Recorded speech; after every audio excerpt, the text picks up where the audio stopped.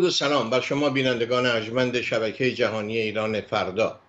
فرامرز فروزنده هستم و به اتفاق همکارانم علی کارگردان فنی برنامه و پومن همکارم در تهیه برنامه 225 مین برنامه از مجموعه مرغ سحر رو که مخصوص تلویزیون ایران فردا تهیه کرده ام به شما بینندگان عزیز تقدیم می کنم هفته گذشته در برنامه شماره 224 انگامی که من از آقای ثابتی یاد کردم و کتاب در دامگه حادثه مرتکب یک اشتباه فاحش شدم که خودم خیلی زود متوجه این اشتباه شدم اما سه چهار نفر از بینندگان ارجمند هم اشتباه من رو به من متذکر شدن. ضمن پوزش خواهی از بینندگان ارجمند این اشتباه رو تصمیم می‌کنم. من در اون برنامه اشاره کردم که کتاب آقای محمد امینی زنده یاد. محمد امینی کتاب سوداگری در با تاریخ رو در پاسخ به در دامگه حادثه تعلیف کرد و نوشت. این نظر غلط بود. آقای امینی کتاب سوداگری با تاریخ رو در پاسخ به کتاب آسیب شناسی یک شکست از علی میرفتروس در واقع نوشته بود. و هیچ ارتباطی بین کتاب سوداگری با تاریخ یا سوداگری در تاریخ این با در دامگه حادثه نداشت. بر حال امیدوارم بر من این اشتباه فاحش رو ببخشید. و اما اجازه بفرمایید که اشاره کنم برنامه امروز با حضور یکی از همکاران فرهیخته در عرصه اجتماعی و فرهنگی خواهد بود و به دو شخصیت می‌پردازیم. دو شخصیتی که در هفته گذشته اظهار نظر اونها و حضور اونها در جامعه ایران بسیار حرف برانگیز بود. اولیش آقای پرویز ثابتی بود که آقای پرویز ثابتی مقام امنیتی قبل از دوران قبل از دوران جمهوری اسلامی بودند. مرد بسیار خوشتیپی بود. در همون مواقع ظاهر می‌شد در برنامه های تلویزیونی و بعد از انقلاب طبعا دیگه شما تصویری از ایشون نمی‌دیدید.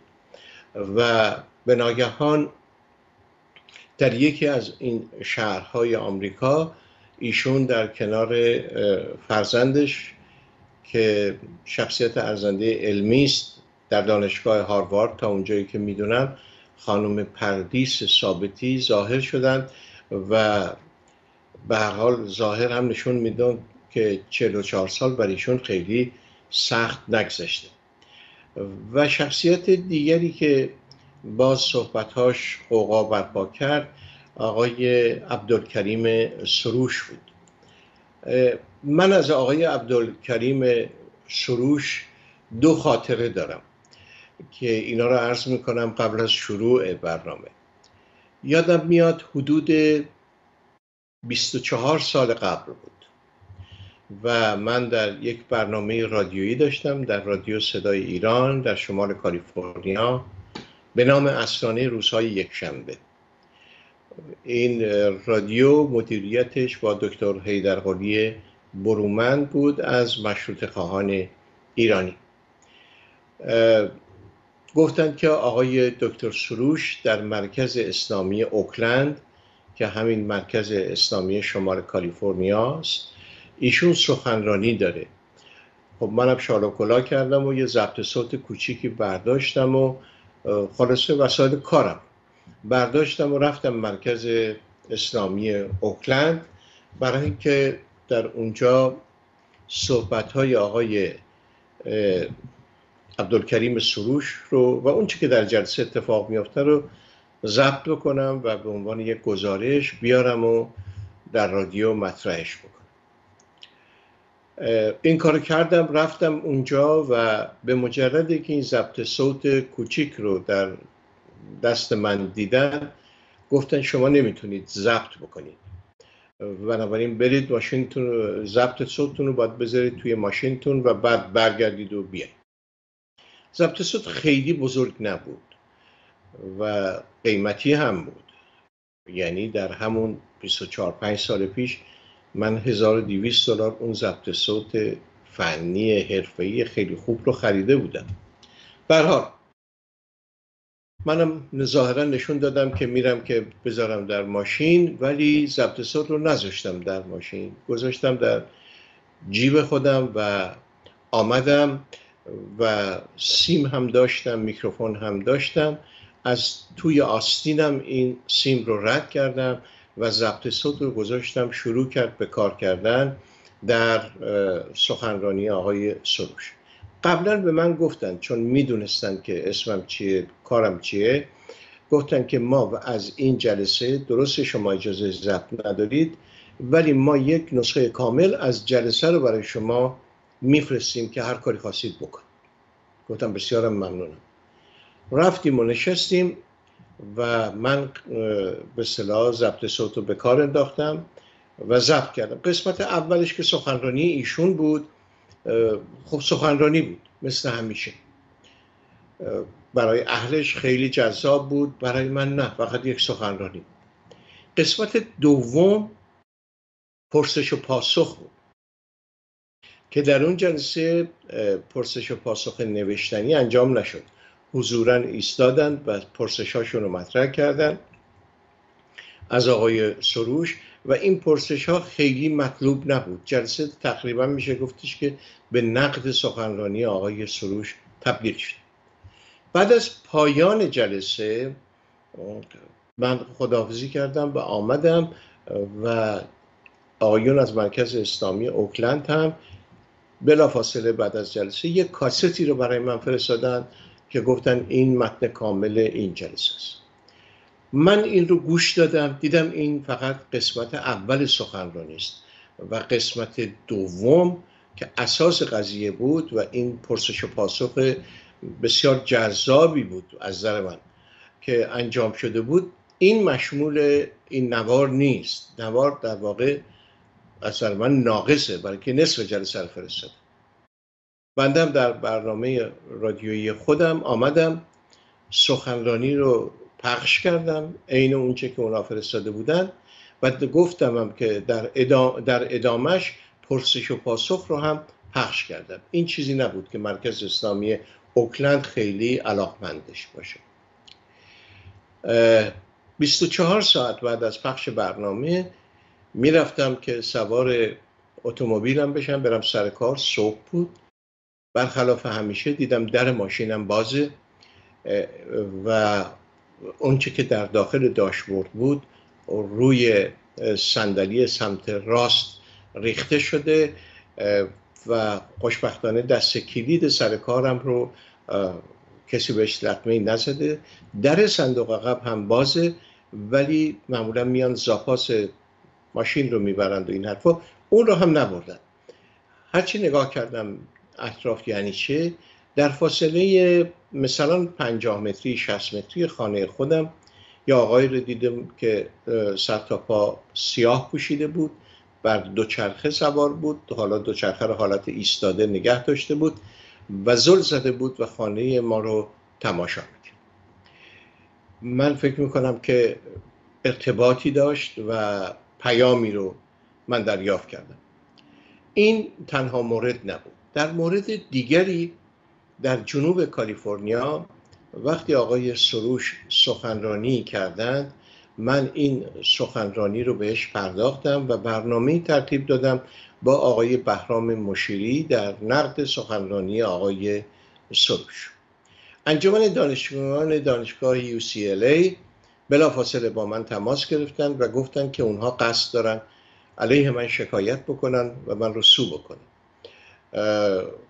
من هم براشون توضیح دادم که آقا کار خلافی انجام نشده. شما یه آگهی عمومی دادید و گفتید که می‌تونید بیاید بشینید و سخنرانی آقای سروش رو گوش کنید. اعلامی عموم بوده و هیچ ویژگی خاصی نداشته باشه داشته که من حالا باید به شما جواب پس بدم. ولی اگر می‌خواهید که علیه من شکایت بکنید حتما این کار رو بکنید و مطمئن باشید که برنده این شکایت شما من خواهم بود.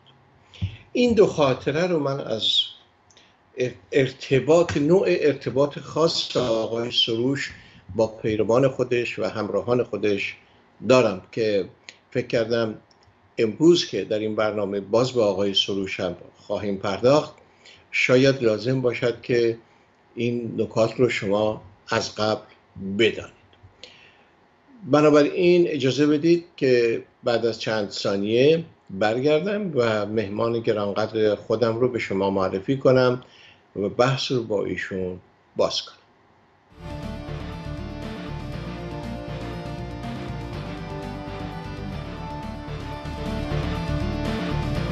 در مورد کرونا این است که ورود واکسن آمریکایی و انگلیسی به کشور ممنوعه. واقعا باید خون گریست. در جامعه اسلامی که حتی احتمال کسی مثل بنده در او مطرح بشه. بینندگان عزیز مهمان گرانقدر برنامه امروز مرق سهر آقای دکتر مسعود نقرکار فرهنگ مدار و پزشک هستند و فعال سیاسی و از اینکه ایشون امروز این فرصت رو به من دادن و فرصت رو ایجاد کردن که با ایشون باشم و این گفتگو رو بکنم بسیار خوشحالم. آقای دکتر نورگار خیلی خوش آمدید.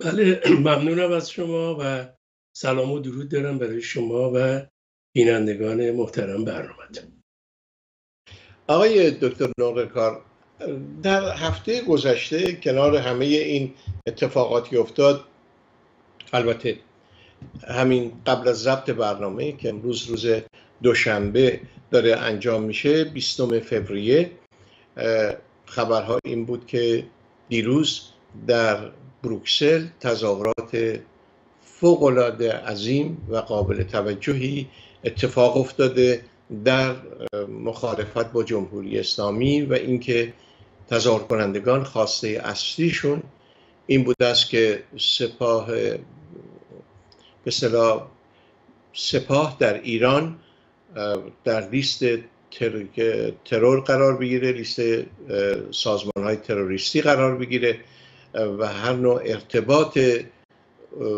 کشورهای اروپایی رو با این دستگاه تروریستی حذف بکنن و قطع کنن.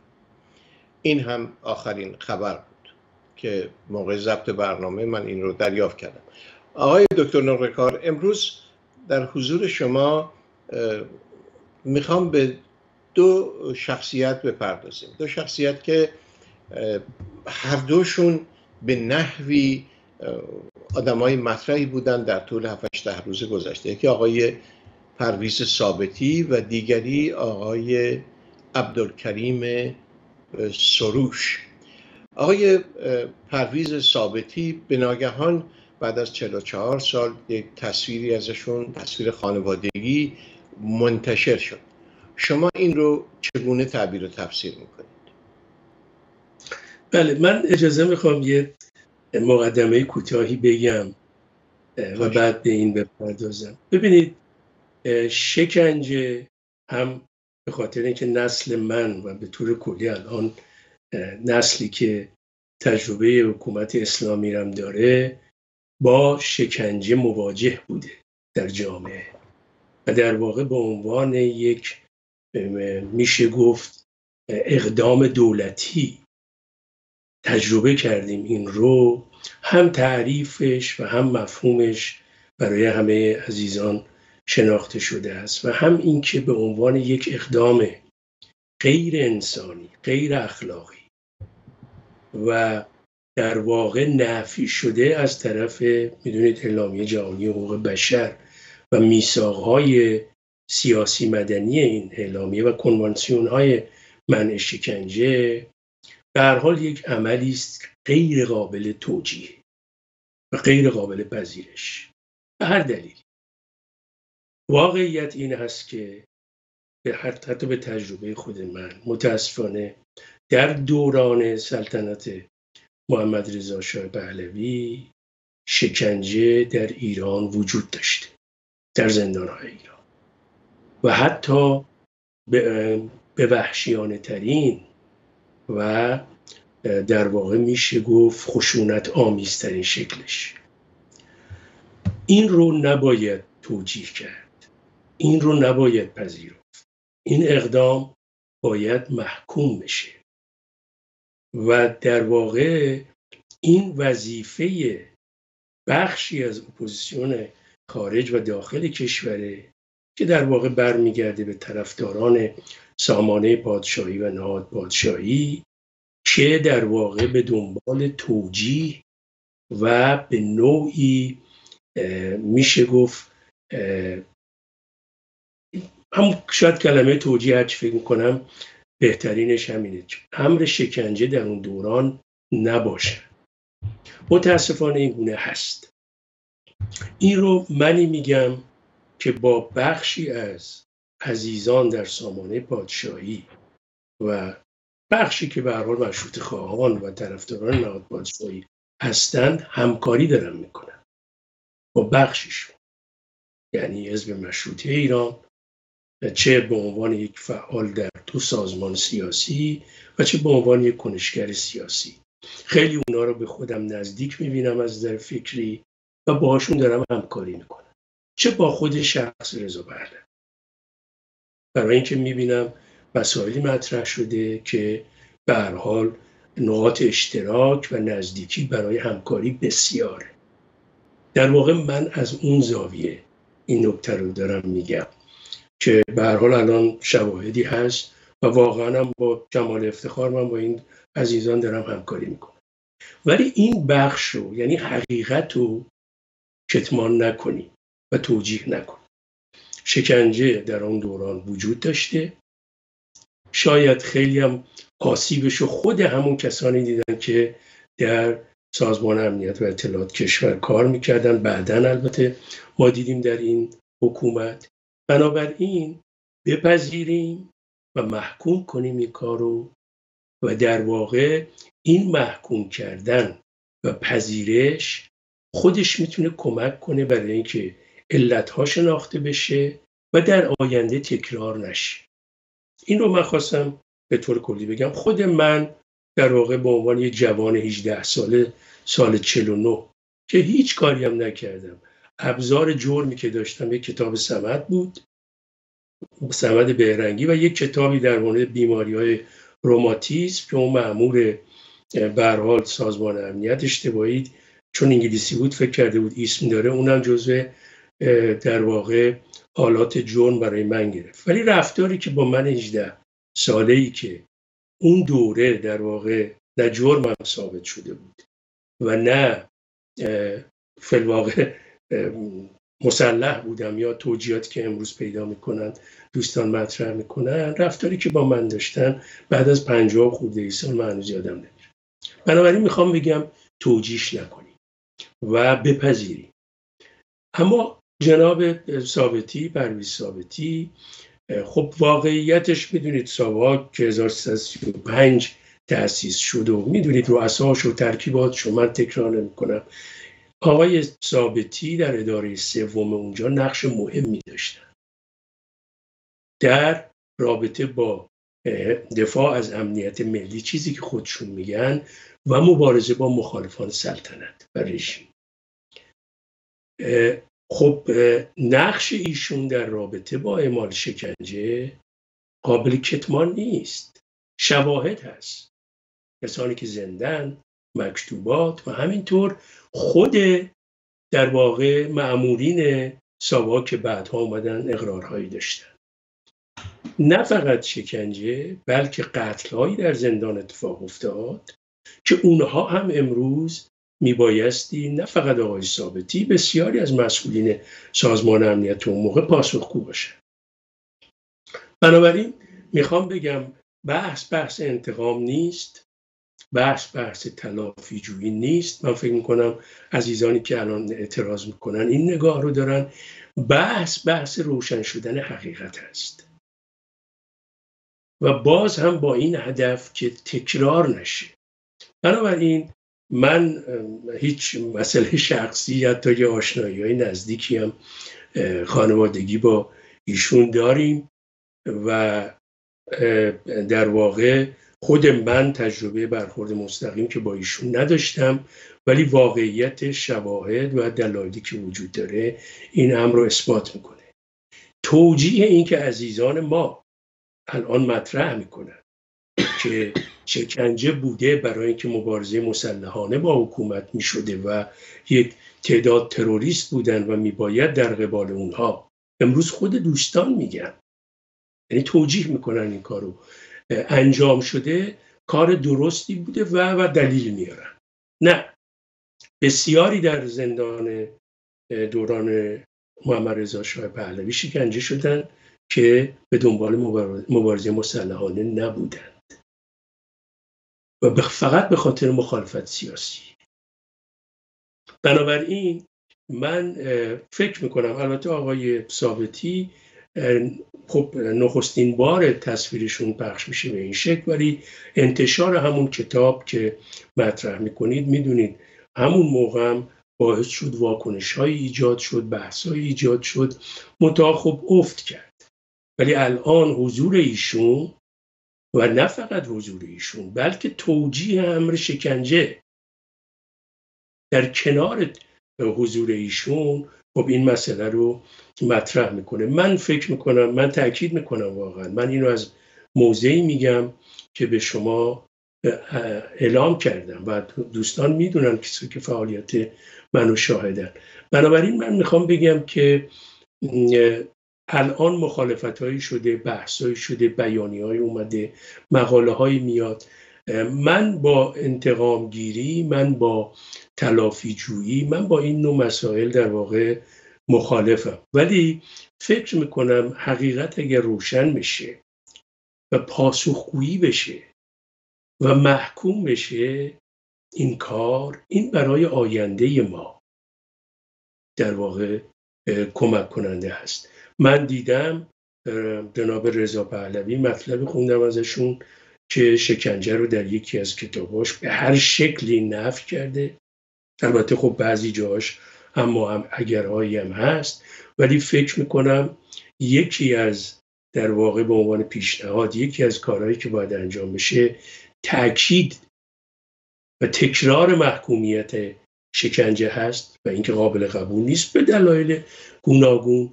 و همینطور دوستانی که در توجیه این مسئله از اون سامانه که ارز کردم گام برمیدارن توجیه نکنن.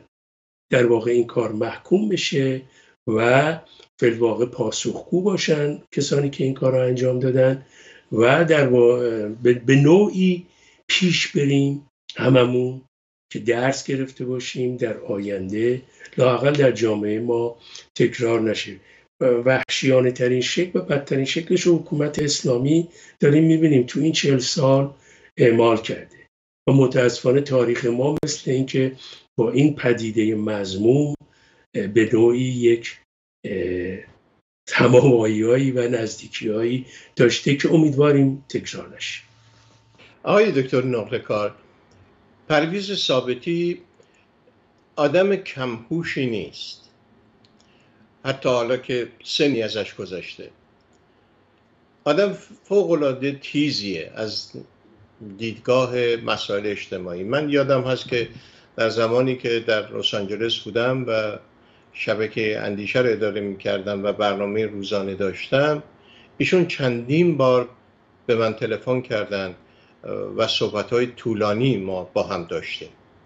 البته حاضر نشدند که برای مصاحبه تلویزیونی و یا ضبط گفتگو چرا که در همون حالت با نویسنده کتاب در دامگاه حادثه به نظرم می‌رسه حالا که مشغول تهیه کتاب در دامگاه حادثه بودن.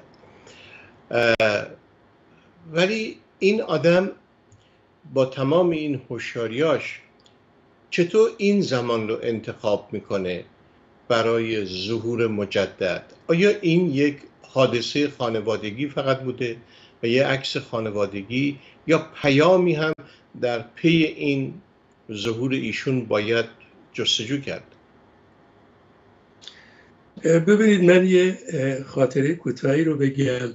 به این مسئله ارتباط پیدا می‌کنه. یکی از عزیزان ما که در دوران رژیم محمد رضا شاه پهلوی شکنجه زیادی در زندان شده بود در پاریس می‌گفت در یک تجمعی من نگاه کردم دیدم بغل دستیم یکی از شکنجهگران مشهوری است که در زندان منو خیلی شکنجه کرد.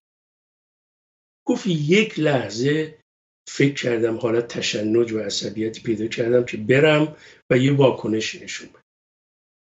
ولی به ذهنم رسید که ببین این حکومت اسلامی کاری کرد رفتاری با مخالفانش کرده که من واقعا فکر می‌کنم که اگرچه کاری که ایشون کرده بوده بسیار در واقع میشه گفت به نظر من سخیفانه و وحشیانه بوده اون شکنجهگر تعریف که دوست ما می‌کرد. ولی می‌گفت مقایسه که کردم یه کمی از اون عصبیتم کاسته شد. اینو من گفتم که بگم حکومت اسلامی رفتاری کرده که خب آقای ثابتی آقای فراستی و بسیاری از دوستانی که از من حالا میگم دوست واقعا کسانی که در ساواک همکاری می‌کردن و این اعمال انجام می‌دادن تازگی نداره. آقای ثابتی تازگی داره. آقای فراستی و بسیاری عزیزان در مصاحبه در بی بی سی قبلا هم حضور پیدا کرده بودن که می‌تونن بیان و نظرات خودشون رو مطرح کنن و دفاع کنن از اون کاری که کردن. من فکر می‌کنم ببینید الان شرایط سیاسی در خارج کشور و داخل تغییرات اساسی کرده. خب سامانه پادشاهی و طرفداران نظام پادشاهی و مشروطه حالا پارلمانی پادشاهی تقویت شدن و فعالیت های بسیار گسترده و علنی دارند گرایش و تمایل به سمت این سامانه و این طیف زیاد شده. و خب خود رضا پهلوی بحثایی رو که کرده به عنوان یه چهره که به دموکراسی و دمو باور داره و چهره دموکراتی هست. خب تمایل به ایشون هم گرایش به ایشون هم زیاد شده. خب این یک فضایی رو ایجاد کرده که به نظر من این این افراد مثل آقای ثابتی و دیگران فکر می‌کنن فضایی است که می‌توانن حضور پیدا بکنن و در واقع فعالیت های خودشون رو به نوعی توجیه بکنن و یک نوع تقویت کننده اون سامانه باشن. که اتفاقا برعکسه. من می‌خوام عرض بکنم که اگر در واقع این تیزهوشی رو که بهش اشاره می‌کنیم که ایشون داره دیگرانم دارن کسانی که تو اون تجربه رو دارن لاقل در شرایطی سامانه پادشاهی. و میشه گفت این بخش از اپوزیسیون داره تقویت میشه و یک تغییرات فکری و نظری درش داره ایجاد میشه. و داره کمک می‌کنه به ایجاد یک پلتفرم هماهنگ کننده در مبارزه با حکومت اسلامی ظاهر نمی شدن و الان که ظاهر شدن من فکر می‌کنم در واقع هم به عنوان امر خانوادگی اینو مطرح کنن و هم اگر بحث شکنجه است محکوم بکنن امر شکنجه رو تا تقویت بشه. این در واقع مسیری که ما داریم میریم در رابطه با مبارزه با جمهوری اسلامی و همونطور که عرض کردم سامانه پادشاهی پادشاهی خواهانم بخش بسیار مهم این مبارزه هستند آقای دکتر نقرکار در هفته گذشته یا در ده روز گذشته این تنها آقای پرویز ثابتی نبود که خبرساز شد بلکه سخنرانی آقای عبدالکریم سروش این هم خبرساز شد. در واقع ایشون مبارزات خارج از کشور رو یا گروه هایی رو که فعال هستن شخصیت هایی رو که فعال هستن به زیر سوال بردن و در واقع به تمسخر گرفتند و برگشتند روی همون طرز تلقی که من فکر می‌کنم در طول 44 سال گذشته در از جمهوری اسلامی ایشون یه طرز تلقی خاص داشته و هیچ تغییری هم نکرده. به هر حال سر تا پا تمسخر بود و توهین بود به اپوزیسیون خارج از کشور و ندیده گرفتن اونها. ممکنه نظرتون رو در مورد صحبت های آقای سروش هم داشته باشیم؟ بله. ببینید سروش در واقع سوگلی یا میشه گفت گل سرسبد اون مجموعه است که تحت عنوان نواندیشان دینی شناخته میشن ایشون بار اول نیست. بارها نشون داده. سخنانی رو که مطرح کرده بحثایی رو که کرده در رابطه با ایجاد رفرم در دین به ویژه در تشیع بحثایی که می‌دونید بسیار کلمات و یا خواستهای بسیار پر اهمیتی است. ایشون بحث نزدیک کردن دین با مدرنیته نزدیک کردن در واقع لاغر کردن دین و قرائت تازه ای از دین مطرح کردن اقلانی کردن دین راجب حقوق زن و مرد و جدایی دین از حکومت نمی‌دونم برقراری یک حکومت سکولار عرفی. ایشون از این حرفا من الان بخوام بزنم. وقت برنامه رو می‌گیرم. از این حرفای قشنگ و در عین حال در توضیح و توجیه این مفاهیمم بسیار حرکت کرده. کتاب نوشته و خود ما می‌دونیم. متا اونجایی که به پا روی زمین می‌ذاره ایشون و در عمل اجتماعی می‌خواد نشون بده کیه همون سروش سال 57 58 و اکثر اینها در واقع اکثرشون و سروش همون من همیشه با گربه مرسالی اینا رو تشبیه می‌کنم. هر جوری برن بالا با اون چهار تا سابق میان پایین. این نمونه است. من نمی‌خوام نه تهمت می‌زنم مستند صحبت خواهم کرد. بنابراین ما دیدیم اینها در حرف به تأثیر از آنچه که در قلب گذشت برای رفرم های دینی ایشون و در واقع قبلم در دوره قبل متحری و نمی‌دونم شریعتی و بعد یه جورای آل احمد و, دیگران از این صحبت ها زیاد کرد. ولی در عمل این گونه نبوده و سروش یکی از اون شخصیت هاست. برخوردهای ایشون با نقدای آقای سرکویی با نقدای محمود دولت آبادی و بسیاری از کسانی که در واقع مخالفت هایی با ایشون داشتن ببینید. من اسمش رو واقعا گذاشتم یک نوع لومپنیزم فلسفی. خب لومپن ها و جاهل ها و لاتا اوریان از واژه ها استفاده می‌کنن. ولی لومپنیزم فلسفی کاری رو می‌کنه که همون مفاهیم رو میاره تو زرورق و همون جوری که شما شاهد هستید. همین برخورد اخیرشون. ببینید ایشون نگاهش به زن رو اونجا تعریف نگاهش رو به جنسیت زن تعریف می‌کنه. درکش رو از هنر و رابطه هنر با یه هنرمند شناخته شده ایرانی که باعث افتخار همه ماست. اگر ایرانی باشیم و در واقع به اون مملکت فکر درکش نشون از واژه هایی استفاده می‌کنه که اصلا توهین به میشه گفت فیزیک بدن انسان در واقع زیباترین و زاینده ترین ارگان های بدن انسان زن و مرد که تجلی زنانگی و مردانگی شرمگاهه. باعث شرم.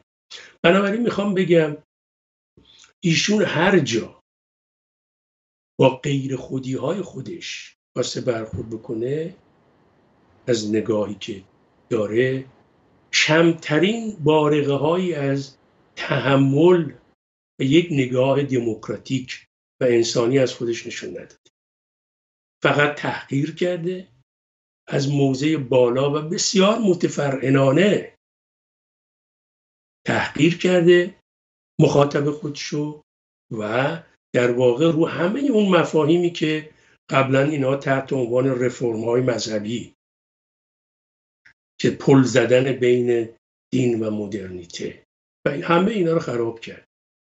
این هستش که من نمی‌خوام به این بحث اخیرش بپردازم برای اینکه به اندازه کافی پرداخته شده. ولی واقعا قصد توهینم ندارم. من فکر کنم شرمگاه اون نقاطی نیست که ایشون گفته. شرمگاه گاهی برمیگرده به جمجمه و مغز کسانی که در واقع این نوع برخوردار رو به انسانهای دیگر و با مفاهیم دیگر دارن. این هستش که برا من تعجب آور نبود. ایشون میگم لااقل الان یهو دو تا برخورد به ذهن من اومد. با آقای فرج سرکویی که نقدایی به ایشون داشتن. و در واقع انتقاد داشتن به حضور ایشون اگر اشتباه نکنم در پن جهانی که قرار بود به عنوان یک نویسنده ایرانی سروش اونجا شرکت کنه که به هر حال مخالفت هایی شد و شرکت نکرد. و یا محمود دولت آبادی. شما ببینید من موافقتی با محمود دولت آبادی تو زمین های سیاسی ندارم. ولی یک چهره شناخته شده ادبی جامعه ماست. با کارهای درخشان در حوزه داستان نویسی و رمان نویسی و بسیار هم شناخته شده است. ببینید تفرعون در چه حدی است که موقعی که می‌خواد با محمود دولت آبادی برخورد بکنه می‌نویسه یک ناشناسی که از مشهد منو مورد انتقاد قرار یا در واقع برخوردهای دیگه. بنابراین می‌خوام بگم آقای سروش و بسیاری از نواندیشان دینی در جامعه ما متاسفانه با آنچه که می‌گویند. و یه دوره هم به غلط روشنفکران دینی مطرح می‌شد.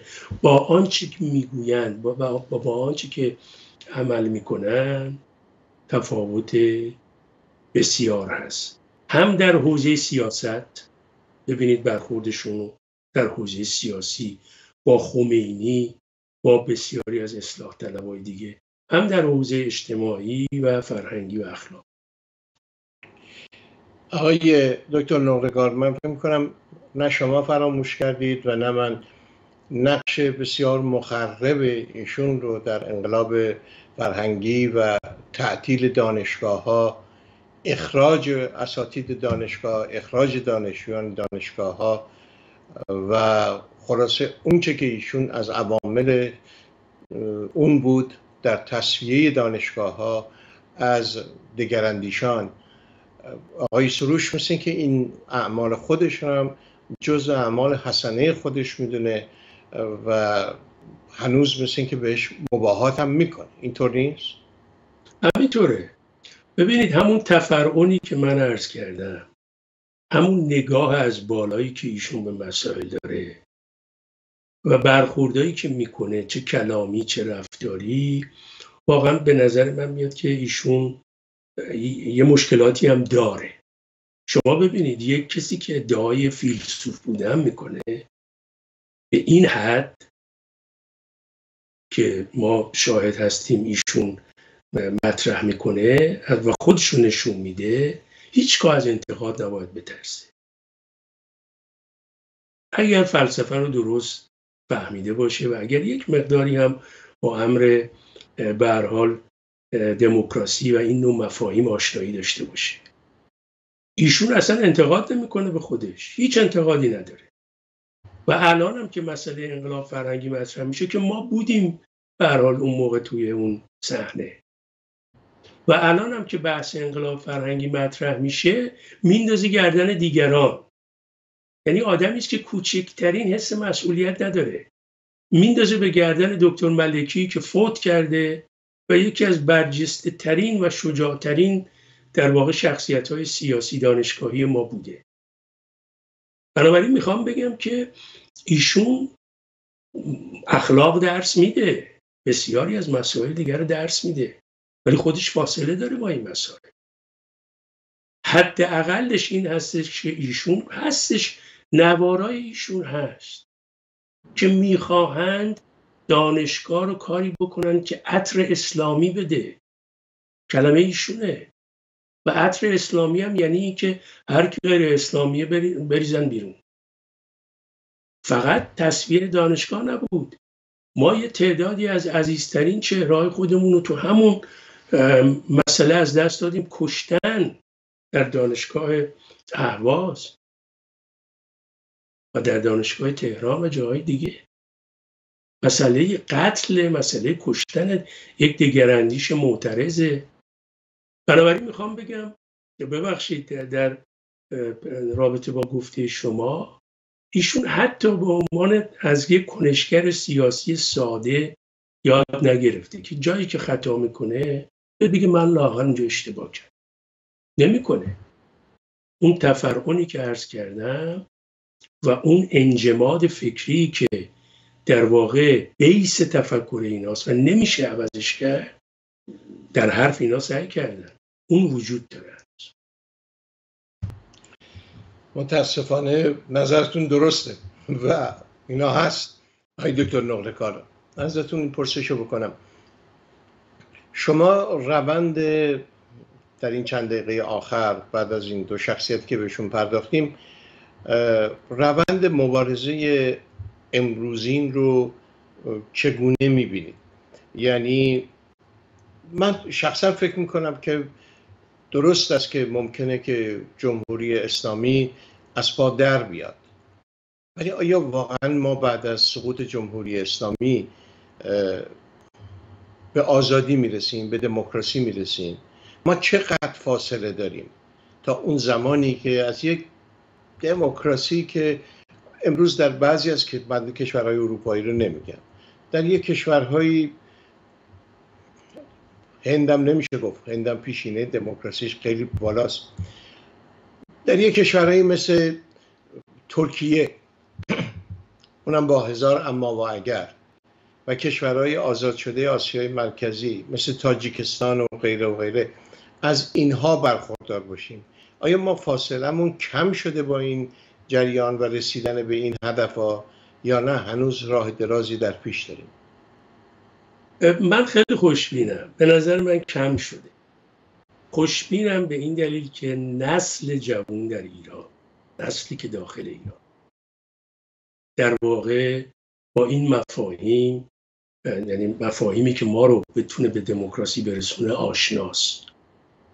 و در عین حال تا حدودی اون ذهنیت لازم رو برای برپا کردن یک جامعه دموکراتیک داره. اینو جنبش زن زندگی آزادی. اگرچه فراز و فرودهایی داره ما شاهد هستیم و مشکلاتی داره ولی نشون داد. به نظر من اون نسل در داخل ایران و حتی های پیشین این نسل با توجه به تجربیاتی که در داخل ایران داشته و شناختی که از الان از جهان داره و در واقع آنچه که شاهد هست به دلایل گوناگون من خوشبینم.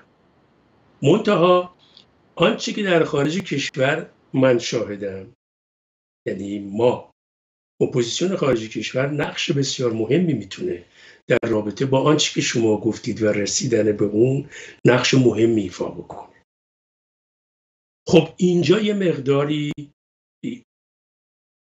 پرسش های ایجاد میشه.